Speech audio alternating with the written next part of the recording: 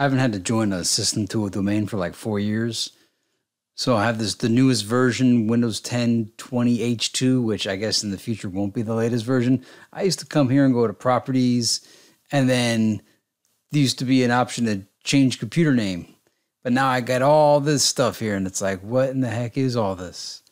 Where's join domain? I don't see join domain anywhere. I heard that you had to enable the administrator account. I did that. It's still not here.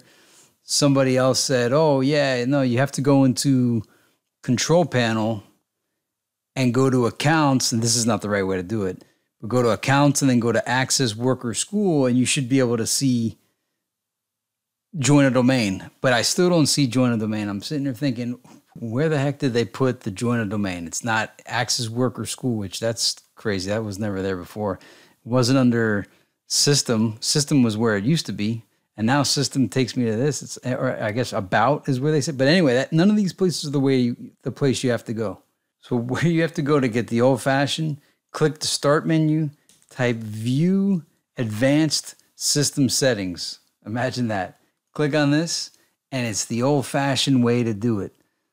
So once you get here, go to computer name, and then that's where you could change it. Join a domain, put a computer name in, and you'll be good to go. It took me about a half hour to figure this out. If this helped you save a half hour, leave a comment below. And if I did it wrong, if you found a, a better way, or if in the future there's a different way to do it, leave it in the comments for the other people that are going through the same problems you're probably going through. Thanks for watching Technuba. It's Technuba.